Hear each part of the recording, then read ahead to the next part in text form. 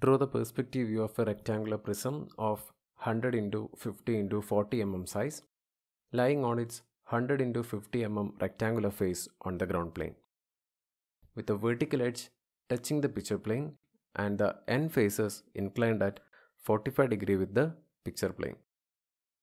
The station point is 120 mm in front of the picture plane, 80 mm above the ground plane and lies in a central plane which is passing through the center of the prism. Perspective projection അല്ലെങ്കിൽ perspective view വരയ്ക്കുന്നതിന് വേണ്ടി നമുക്ക് ആദ്യം ആ ഒബ്ജക്റ്റിന്റെ orthographic പ്രൊജക്ഷനിലോട്ട് പോകണം നമുക്ക് തന്നിരിക്കുന്ന റെക്റ്റാങ്കുലർ പ്രിസം ഒരു ഗ്രൗണ്ട് പ്ലെയിനിലാണ് റെസ്റ്റ് ചെയ്യുന്നതെന്ന് പറഞ്ഞു. സോ നമ്മളൊരു ഗ്രൗണ്ട് പ്ലെയിൻ ഇവിടെ കാണാം. ഗ്രൗണ്ട് പ്ലെയിന് പെർപ്പൻഡിക്കുലർ ആയിട്ടൊരു പിക്ചർ പ്ലെയിൻ ഈ ഗ്രൗണ്ട് പ്ലെയിന്റെ മേലെ നമ്മുടെ റെക്റ്റാങ്കുലർ പ്രിസം വെച്ചിട്ടുണ്ട് with one of its vertical edges touching picture plane ഒരു വെർട്ടിക്കൽ എഡ്ജ് ഇവിടെ ഇപ്പം ഞാൻ ബി സി എന്ന് പറയുന്ന എഡ്ജാണ് പിക്ചർ പ്ലെയിനിൽ ടച്ച് ചെയ്ത് വെച്ചിട്ടുള്ളത്. പിക്ചർ പ്ലെയിനിൽ നിന്ന് ഒരു one twenty M M in front and eighty M M above ground plane നമുക്ക് നമ്മുടെ സ്റ്റേഷൻ പോയിന്റ് കാണാം. സ്റ്റേഷൻ പോയിന്റ് കണ്ടെയ്ൻ ചെയ്യുന്ന ഒരു ഹൊറിസോണ്ടൽ പ്ലെയിനാണ് നമ്മൾ ഹൊറൈസൺ പ്ലെയിൻ എന്ന് പറയുന്നത്. ഹൊറൈസൺ പ്ലെയിൻ നമ്മൾ പിക്ചർ പ്ലെയിനിൽ മീറ്റ് ചെയ്യുന്ന ലൈനാണ് horizon line H L. Ground പ്ലെയിനും പിക്ചർ പ്ലെയിനും പെർപെൻഡിക്കുലർ ആയിട്ടുള്ള സ്റ്റേഷൻ പോയിന്റിലൂടെ പാസ് ചെയ്യുന്ന പ്ലെയിനാണ് സെൻട്രൽ പ്ലെയിൻ. സെൻട്രൽ പ്ലെയിൻ ഇവിടെ കാണാം. സെൻട്രൽ പ്ലെയിനും നമ്മുടെ പിക്ചർ പ്ലെയിനുമായിട്ട് മീറ്റ് ചെയ്യുന്നിടത്തൊരു ലൈൻ ഫോം ചെയ്യും. ആ ലൈൻ നമ്മൾ സെൻട്രൽ ലൈൻ എന്ന് പറയും. സോ പെർസ്പെക്റ്റീവ് പ്രൊജക്ഷൻ വരയ്ക്കുന്നതിന് മുമ്പായിട്ട് നമുക്ക് ഈ ഒരു സിസ്റ്റത്തിന്റെ ഫ്രണ്ട് വ്യൂ ടോപ്പ് വ്യൂ വരക്കണം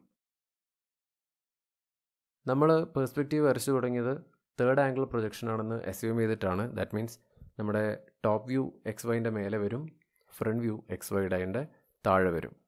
അത് നമുക്ക് ടോപ്പ് വ്യൂ നോക്കാം. ടോപ്പ് വ്യൂ വന്ന് നോക്കുകയാണെങ്കിലും നമുക്ക് ആദ്യം ഒരു പിക്ചർ പ്ലെയിൻ ഒരു ലൈനായിട്ട് കാണാൻ പറ്റും.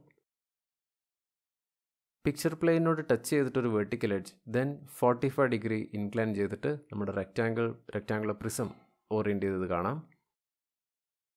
ടോപ്പ് വ്യൂവിലെ സ്റ്റേഷൻ പോയിന്റ് നോക്കുകയാണെങ്കിൽ പിക്ചർ പ്ലെയിനിന്ന് വൺ ട്വന്റി എം എം മാറിയിട്ട് സോളിഡിന്റെ സെന്ററിലൂടെ പാസ് ചെയ്യുന്ന ഒരു സെൻട്രൽ പ്ലെയിനിലായിരിക്കും നമ്മുടെ സ്റ്റേഷൻ പോയിന്റ് കാണുന്നത്.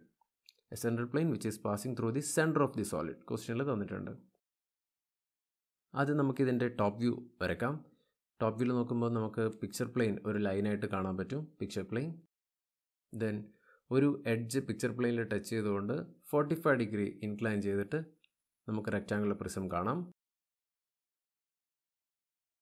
റെക്റ്റാങ്കുലർ പ്രിസത്തിന് നെയിം ചെയ്യാൻ പോകുന്നത് ഫ്രണ്ടിലത്തെ റെക്റ്റാങ്കുലർ ഫേസിന് എ ബി സി ഡി പിന്നിലുള്ള ഫേസിന് P Q R S A B എന്ന് പറയുന്ന കോർണേഴ്സ് ഗ്രൗണ്ട് പ്ലെയിനിലാണ് നടക്കുന്നത്. സോ ടോപ്പ് വ്യൂവിൽ നോക്കുമ്പോൾ A and B are hidden C and D are visible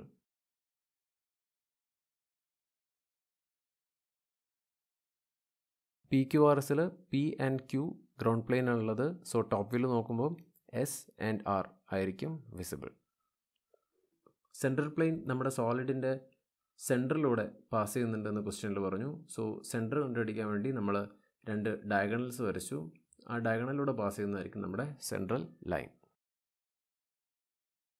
so picture പ്ലെയിനിന്ന് one twenty M M in front central ലൈനിലായിട്ട് നമുക്ക് station പോയിന്റിന്റെ top view കാണാം. ഇപ്പോൾ നമ്മൾ സോളിഡിന്റെയും സ്റ്റേഷൻ പോയിന്റെയും ടോപ്പ് വ്യൂ കംപ്ലീറ്റ് ചെയ്തു കഴിഞ്ഞു. ഇനി നമുക്ക് സോളിഡിന്റെയും സ്റ്റേഷൻ പോയിന്റെയും ഫ്രണ്ട് വ്യൂ വരയ്ക്കണം. ഫ്രണ്ട് വ്യൂ നോക്കിക്കഴിഞ്ഞാൽ ഇവിടെ ഒരു ഫ്രണ്ട് വ്യൂ കൊടുത്തിട്ടുണ്ട്. ആദ്യം നമുക്ക് ഫ്രണ്ട് വ്യൂവിൽ ഒന്ന് നോക്കുമ്പോൾ ഗ്രൗണ്ട് പ്ലെയിനെ ഒരു ഗ്രൗണ്ട് ലൈനായിട്ട് കാണാൻ പറ്റും ജി എൽ ആ ഗ്രൗണ്ട് ലൈനിന്റെ മുകളിൽ നമ്മുടെ സോളിഡിന്റെ ഫ്രണ്ട് വ്യൂ കാണാം. അവിടെ തന്നെ നമ്മുടെ എയ്റ്റി എം എം എബോ ആയിട്ട് സ്റ്റേഷൻ പോയിന്റിന്റെ ഫ്രണ്ട് വ്യൂ കാണാം. സ്റ്റേഷൻ പോയിന്റിലൂടെ പാസ് ചെയ്യുന്ന ഒരു ഹൊറിസോണ്ടൽ പ്ലെയിനാണ് ഹൊറൈസൺ പ്ലെയിൻ ആ ഹൊറൈസൺ പ്ലെയിനെ നമുക്കൊരു ലൈനായിട്ട് കാണാം which is horizon line H L ആദ്യം നമ്മൾ കാണുന്നത് ഒരു ground line G L then നമുക്ക് station point front view locate ചെയ്യാം. എയ്റ്റി എം എം എബോ ആയിട്ട് നമുക്ക് സ്റ്റേഷൻ പോയിന്റ് ഫ്രണ്ട് വ്യൂ കാണാം എസ് പി ഡാഷ് ഇനി നമുക്ക് ഒബ്ജക്റ്റിന്റെ ഫ്രണ്ട് വ്യൂ കാണാം. ഒബ്ജക്റ്റിന്റെ ഫ്രണ്ട് വ്യൂ ജി എല്ലിന്റെ മുകളിൽ കാണാൻ പറ്റും. ഓരോ കോർണേഴ്സും കണ്ടുപിടിക്കാൻ വേണ്ടി നമുക്ക് ടോപ്പ് വ്യൂവിലുള്ള എല്ലാ കോർണേഴ്സിനെയും താഴേക്ക് പ്രൊജക്റ്റ് ചെയ്യാം. സ്റ്റേഷൻ പോയിന്റിലൂടെ പാസ് ചെയ്യുന്ന ലൈനായിരിക്കും ഹൊറൈസൺ ലൈൻ അത് നമ്മളെപ്പോഴും ചെയിൻ ഡബിൾ ഡാഷ് ലൈൻ വെച്ചിട്ട് ഡിനോട്ട് ചെയ്യാം.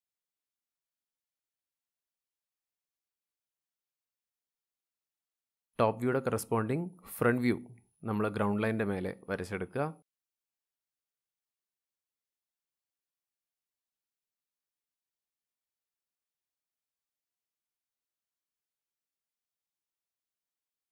അത് നമുക്ക് പോയിന്റ് ഏഡ് പെർസ്പെക്റ്റീവ് പ്രൊജക്ഷൻ എങ്ങനെയാണെന്ന് നോക്കാം.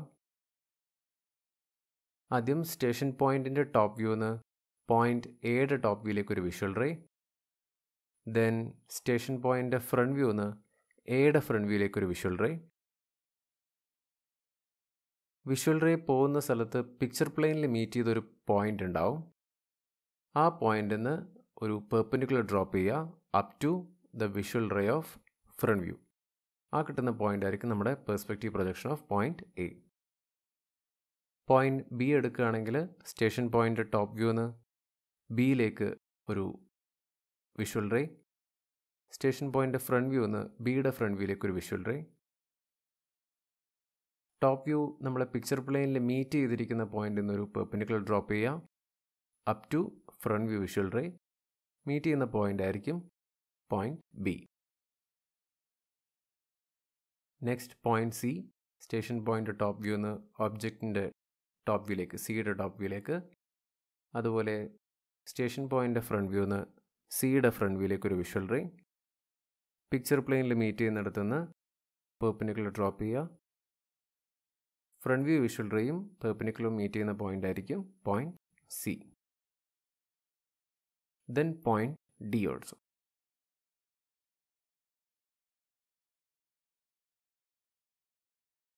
so നമ്മൾ A B C D face കഴിഞ്ഞു. ഇനി നേരെ പി ക്യു ആർ എസ് ഫേസിലോട്ട് പോകാം ആദ്യം point P station point top view എന്ന് പോയിന്റ് പിയുടെ ടോപ്പ് വ്യൂയിലേക്ക് ഒരു visual ray. Station point front view എന്ന് പിയുടെ ഫ്രണ്ട് വ്യൂയിലേക്ക് ഒരു വിഷ്വൽ റേ. പിക്ചർ പ്ലെയിൻ നിന്ന് മീറ്റ് ചെയ്യുന്ന പോയിന്റ് എന്നൊരു പെർപ്പനിക്കുലർ ഡ്രോപ്പ് ചെയ്ത് കഴിഞ്ഞാൽ പോയിന്റ് പി കിട്ടും.